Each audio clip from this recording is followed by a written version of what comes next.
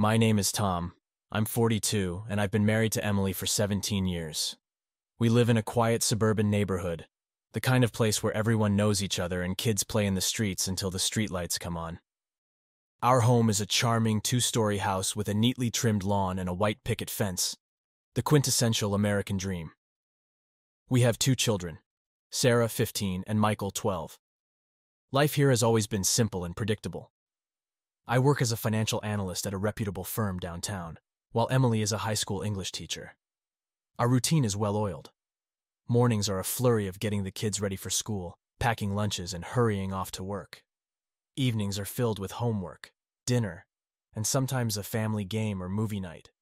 Weekends are usually spent catching up with friends, barbecuing in the backyard, or attending one of Michael's soccer games or Sarah's dance recitals. Emily and I have had a good marriage, or so I thought. We met in college, fell in love quickly, and married shortly after graduation. We've shared our ups and downs, but we always seem to come out stronger on the other side. Or at least, that's what I believed until a few months ago when subtle changes in Emily's behavior started to unsettle me. It started with little things. Emily began to stay late at work more often, citing meetings and school events that seemed to stretch on endlessly. She would come home tired, distant, and unusually preoccupied. I tried to be understanding. Teaching can be exhausting. But something about her demeanor felt off. She became protective of her phone, a device she once left carelessly around the house. Now it was always within her reach, and she would shield the screen whenever I was nearby. Our sex life, which had been steady and satisfying, dwindled to almost nothing. Emily's excuses ranged from exhaustion to headaches, and while I wanted to believe her, I couldn't shake the feeling that something else was at play. Conversations with her became strained. She was often lost in thought, barely listening to what I was saying.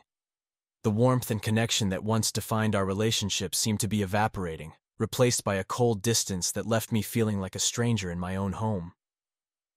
One evening, as I was tidying up the living room after dinner, I noticed Emily had left her laptop open on the kitchen counter. Curious and concerned, I glanced at the screen. She had been messaging someone on Facebook, someone named David. The conversation was innocuous at first glance, filled with casual exchanges about work and life. But as I scrolled up, I saw a different tone emerge. They joked and flirted, their words laced with a familiarity that went beyond friendship. My heart pounded as I read their messages. David was our neighbor, a charming man in his late 30s who had moved in a year ago. He was single, friendly, and had quickly become a popular figure in our community. He often joined our neighborhood gatherings, and while I never had any reason to suspect him of ill intentions, the messages between him and Emily painted a different picture. The realization hit me like a ton of bricks. Could Emily be having an affair with David? The thought was too painful to accept, but the evidence was right there in front of me. I knew I had to find out the truth, no matter how much it hurt. The next few days were a blur of anxiety and suspicion. I couldn't get the messages between Emily and David out of my mind. I replayed every interaction we'd had with David, scrutinizing them for signs I might have missed. The friendly smiles, the casual touches. Had there been something more to it all along? One Friday evening, I decided to confront my suspicions head on. Emily had mentioned she'd be working late again, a claim that now filled me with doubt and dread. As she left the house, I made an excuse about needing to go out for a while. Once I was sure she was gone, I doubled back and parked a few houses down the street, waiting for something, anything, that would confirm my fears. Hours passed, and the street grew quiet. I was beginning to think I'd overreacted when I saw Emily's car pull up in front of David's house. My heart sank. She stepped out of the car, glanced around as if to make sure no one was watching, and hurried up to his front door. It swung open immediately, and David greeted her with a smile.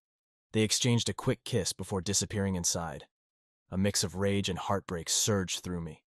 There it was, the undeniable proof of Emily's betrayal. I wanted to burst in, to confront them both, but I knew I needed more than just my word against theirs.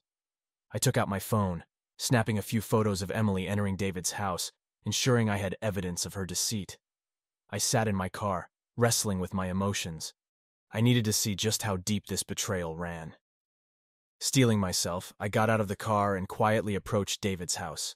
The front windows were closed, but I noticed a faint glow of light from the side of the house. Carefully, I crept to the side and peered through a small gap in the curtains. What I saw shattered any remaining hope I had. Emily and David were in his living room, wrapped in each other's arms, kissing passionately. Their clothes quickly came off, and they moved to the couch, their bodies entwined in a way that left no doubt about what was happening. I watched, paralyzed by a mix of fury and sorrow, as my wife and our neighbor made love in front of me. Emily's moans and David's whispered words of affection felt like daggers to my heart. I wanted to look away, but I couldn't. I had to see the full extent of their betrayal. I took out my phone again, recording the scene through the window. I needed this evidence, not just for any potential legal battles, but to make sure I wasn't imagining the depth of their deceit. Finally, I couldn't bear to watch any longer. I stumbled back to my car, my mind racing with thoughts of revenge and confrontation. I drove home in a daze, my hands trembling on the steering wheel. How could Emily do this to me, to our family? The woman I loved, the mother of my children, was now a stranger, someone capable of such cruel betrayal. When Emily returned home later that night, she acted as if nothing had happened. She climbed into bed beside me, her scent still mingled with the remnants of her betrayal. I lay there, rigid and silent, trying to suppress the storm of emotions raging inside me. She was so close, yet felt so far away. I knew I couldn't keep this inside any longer. The confrontation was inevitable, and it was going to be fierce. The next morning, I woke with a renewed sense of purpose. The rage and heartbreak from the previous night had crystallized into a cold determination. I couldn't allow this betrayal to go unchallenged.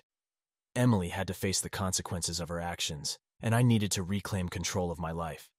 The moment had come to confront her and expose the truth. As the kids left for school, I told Emily we needed to talk. She glanced at me with a mix of curiosity and irritation.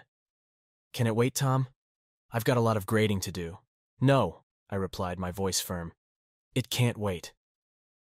We sat down at the kitchen table. Emily looked at me expectantly, but there was an edge of defensiveness in her eyes, as if she knew something was wrong. I know about you and David, I began, my voice steady despite the turmoil inside me. I saw you last night at his house. Emily's face drained of color. She opened her mouth to speak, but no words came out. She looked like a deer caught in headlights, and for a brief moment, I almost felt sorry for her. Almost. I saw everything, I continued, pulling out my phone and showing her the photos and the video. I have proof, Emily. There's no point in lying anymore. She stared at the images, her eyes widening in horror. Tom, I, I can explain, she stammered, but the words sounded hollow, even to her. Explain? I scoffed, unable to contain my anger any longer. Explain how you could betray me, betray our family for months. Explain how you could lie to my face every day. There's no explanation that could justify what you've done. Tears began to stream down Emily's face, but they did nothing to soften my resolve. I never meant to hurt you, Tom, she said, her voice shaking. It just happened. I was lonely, and David, he was there for me. Lonely? I repeated, incredulous. You were lonely, so you decided to sleep with our neighbor. Do you have any idea what you've done to me? To our children? Emily's sobs grew louder, but I couldn't let her tears distract me. You think you're the victim here? You did this, Emily. You destroyed our family. I'm sorry, Tom, she whispered, but her apology felt like a slap in the face. I know I've hurt you, but I love you. I never stopped loving you. Love? I spat, standing up and pacing the kitchen.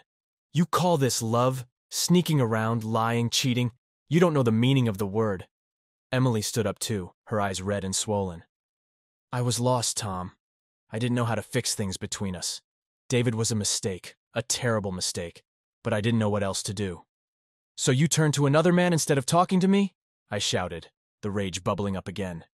You had a choice, Emily, and you chose to betray me. She sank back into her chair, her sobs turning into a guttural cry. Please, Tom. Give me a chance to make it right. I'll do anything. We can go to counseling, whatever it takes. Just don't leave me. I looked at her, the woman I once loved more than anything, now reduced to a sobbing mess before me. Part of me wanted to believe her, to hope that we could somehow salvage our marriage. But the damage was too deep, the betrayal too great. I don't know if I can ever trust you again, I said quietly. You destroyed that trust the moment you stepped into David's house. I can't just forget that. Emily's eyes filled with desperation. Tom, please, think about the kids. They need both of us. We can find a way to get through this, together. The mention of our children hit me hard. I had to consider their well being, but I also knew I couldn't continue living in this lie. I needed time to think, to figure out the best path forward for all of us. I need some time, I said finally. I can't make any promises right now, but I need you to understand how deeply you've hurt me. This isn't something we can just sweep under the rug. Emily nodded, her tears still flowing. I understand, Tom. I'll do whatever it takes to make things right.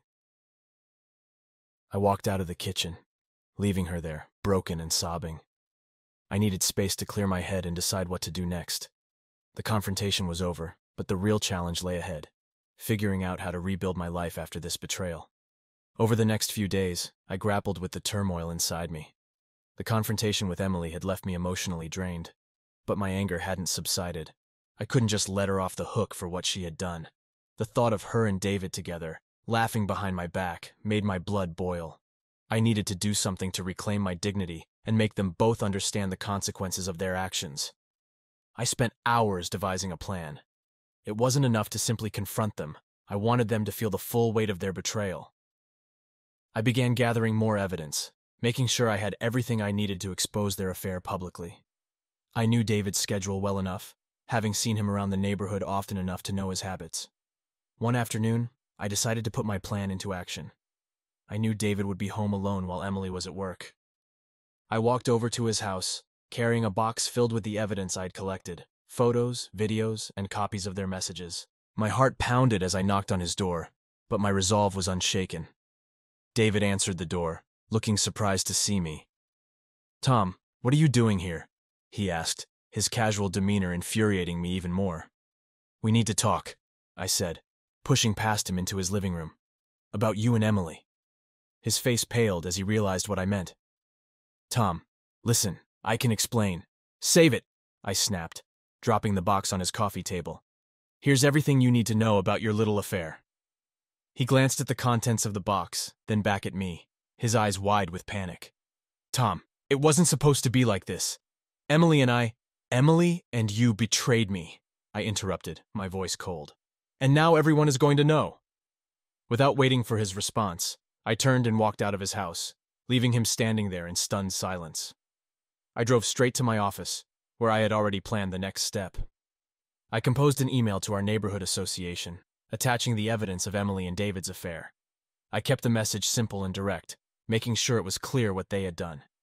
As I hit send, a sense of grim satisfaction washed over me. This was just the beginning. I had also planned to confront Emily at her school. She was a respected teacher, and I knew that revealing her affair would have significant consequences for her professionally. It was a harsh move, but I felt it was justified given the depth of her betrayal. I arrived at her school just before the end of the day. I waited in the parking lot until I saw her emerge from the building, talking with a colleague. I approached them, ignoring the curious glances from other staff members and students. Emily, we need to talk. I said loudly enough for others to hear. She looked at me, her face a mask of confusion and fear. Tom, what are you doing here? she asked, trying to maintain her composure. I thought it was time your colleagues knew the truth about you, I said, pulling out the folder of evidence. Emily has been having an affair with our neighbor David for months. Here's the proof. Gasps and whispers erupted around us as I handed the folder to her colleague. Emily's face turned crimson as she reached out to grab the folder, but it was too late. The damage was done. Tom, please don't do this, she begged, tears streaming down her face. It's too late, Emily. You made your choices, and now you have to face the consequences, I said, turning to leave. I hope it was worth it. As I walked away, I felt a mix of vindication and sorrow. This was not how I had envisioned my life turning out, but I couldn't let them get away with what they had done. The repercussions of my actions rippled through our community, and both Emily and David faced the fallout from their affair. Emily was suspended from her job pending an investigation, and David became a pariah in the neighborhood. Despite the sense of justice, the revenge did little to soothe my pain. The trust that had been shattered could never be restored, and the life I had known was gone forever. Yet, in taking action, I had reclaimed a part of myself that had been lost in the betrayal. The path to healing was still long, but I had taken the first steps toward a new beginning. The days following my public exposure of Emily and David's affair were a whirlwind of chaos and confrontation. Emily had been suspended from her teaching position, and David was now an outcast in the neighborhood. The community's reaction was swift and unforgiving, and both of them were feeling the full weight of their actions. But amid all the upheaval, there was still one final conversation that needed to happen, a conversation that would determine the future of our fractured family. One evening, after the kids had gone to bed, I found Emily sitting in the living room. Her eyes were red and puffy from crying, and she looked utterly defeated. For a moment, I almost felt sorry for her. But the memory of her betrayal quickly hardened my resolve. I took a deep breath and sat down across from her, ready to face the storm. Emily, I began, my voice steady but firm. We need to talk. She nodded silently, wiping away her tears. I know, she whispered. I've ruined everything. There was a long pause as we stared at each other, the weight of our shared history hanging heavily between us. Finally, I broke the silence. Why, Emily? I asked, my voice breaking. Why did you do it? She looked down at her hands, unable to meet my gaze. I don't know, she said, her voice barely audible. I was lonely, Tom. You were always working, and I felt so alone. David was there, and it just happened. Just happened. I echoed, my anger flaring up again. You don't accidentally have an affair, Emily. You made a choice. You lied to me, to our kids, to everyone. I know, she sobbed. I know I made a terrible mistake, but I never stopped loving you, Tom. I was just lost. Lost, I repeated, shaking my head. Do you have any idea what you've done to me? To our family? You've destroyed everything we built together. I'm so sorry, she whispered, her voice filled with desperation. I know I don't deserve your forgiveness, but please, Tom, can't we find a way to fix this? For the kids? I sighed, feeling the weight of her words. Our children were innocent victims in all of this, and I had to consider their well being. But the trust between us had been shattered, and I didn't know if it could ever be rebuilt. Emily, I don't know if we can fix this, I said quietly. The trust is gone. Every time I look at you, all I see is betrayal. She buried her face in her hands, sobbing uncontrollably. Please, Tom. I'll do anything. Counseling, therapy, whatever it takes. Just don't leave me. I closed my eyes, trying to block out the sound of her tears. I had already made up my mind, but seeing her like this made it harder to follow through. Still, I knew what had to be done. I need time, Emily, I said finally. Time to think. Time to figure out what's best for the kids. But I can't promise you anything right now. She looked up at me, her eyes filled with hope and desperation. Please, Tom, just give me a chance. I need space, I repeated, standing up. I'll be staying with a friend for a few days. We'll talk more when I get back. As I walked out of the house, I felt a mix of relief and sorrow. This was the hardest decision I had ever made but I knew it was the right one. Emily needed to understand the full impact of her actions, and I needed time to heal and decide what was best for our family. Over the next few days, I stayed with a close friend, giving myself the distance I needed to think clearly. I missed the kids terribly, but I knew this time apart was necessary. I spoke with a lawyer and began to explore my options, both for divorce and for custody arrangements. My priority was ensuring that Sarah and Michael would be okay, no matter what happened between Emily and me.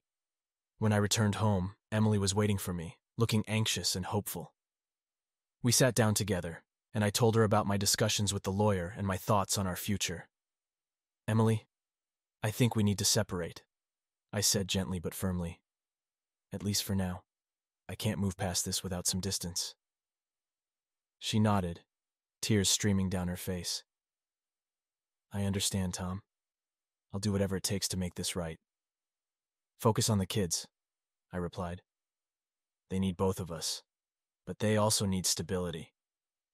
We'll work out the details with the lawyer, but I think this is the best way forward. As I spoke, I could see the pain in Emily's eyes. but also a glimmer of understanding. This wasn't just about her and me. It was about our children and their future. It was about finding a way to rebuild our lives, even if it meant doing so separately. In the weeks that followed, we began the process of separation. It was painful and messy, but it was also necessary. Emily moved into a small apartment nearby, and we worked out a custody arrangement that allowed the kids to spend time with both of us. It wasn't easy, but it was a step towards healing. Through it all, I focused on being there for Sarah and Michael, helping them navigate this new reality. Emily and I attended counseling sessions separately, trying to work through our own issues and come to terms with what had happened. One evening, as I was tucking the kids into bed, Sarah looked up at me with her big, innocent eyes.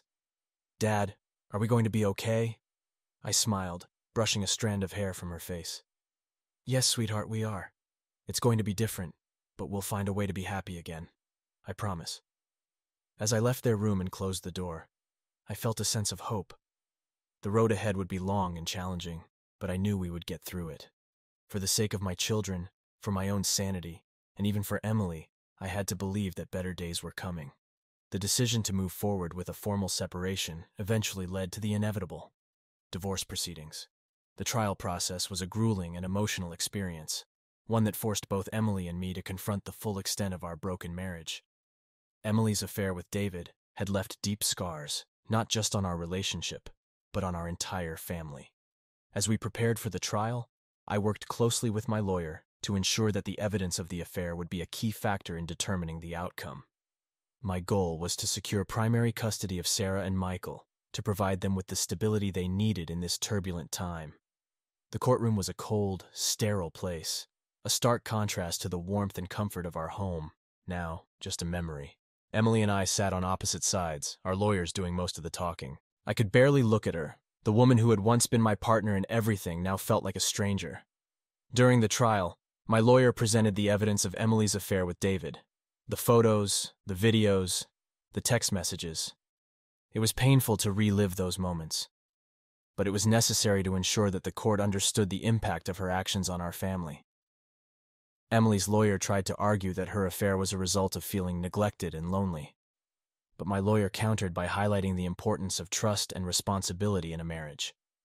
The judge listened carefully, weighing the evidence and the testimonies from both sides. Finally, after what felt like an eternity, the judge made a decision. Emily and I were granted a divorce, and I was awarded primary custody of Sarah and Michael. Emily was given visitation rights, allowing her to spend time with the kids on weekends and during school holidays. As the judge delivered the verdict, I felt a mix of relief and sadness. This was the end of a chapter in my life, one that had been filled with love, betrayal, and heartache. But it was also the beginning of a new chapter, one where I could focus on rebuilding my life and providing a stable, loving environment for my children. After the trial, Emily and I had a brief, tense conversation outside the courtroom. Tom, I'm so sorry for everything, she said, her voice trembling. I never wanted it to end like this. I know, Emily, I replied, my voice soft but firm. But this is where we are now. We have to move forward for the kids' sake. She nodded, tears in her eyes. I'll do my best to be there for them, I promise. I hope you do, I said, turning to leave. They need you too. As I walked away, I felt a sense of closure. The trial had been a painful ordeal, but it was also a necessary step towards healing. I was ready to start a new chapter in my life, one where I could focus on my children, my work, and my own well being. Life after the divorce was challenging, but it was also a time of growth and rediscovery. I threw myself into my work, finding solace in the familiar routine of my job.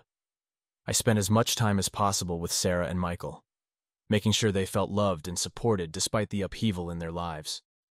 We settled into a new routine, one that included therapy sessions for all of us. Talking to a professional helped me process my emotions and work through the pain of Emily's betrayal.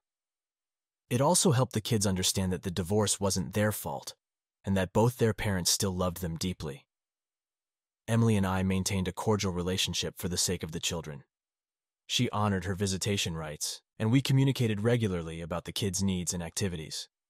It wasn't easy, but it was necessary to ensure that Sarah and Michael felt secure and loved. Over time, I began to heal. The anger and resentment that had once consumed me slowly faded, replaced by a sense of acceptance and peace. I started to focus on my own well being, taking up hobbies I had long neglected and reconnecting with old friends. One evening, a few months after the divorce was finalized, I attended a neighborhood barbecue.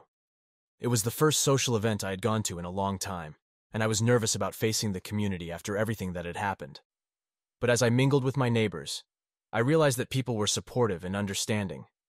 They knew the pain I had been through, and they respected my efforts to rebuild my life.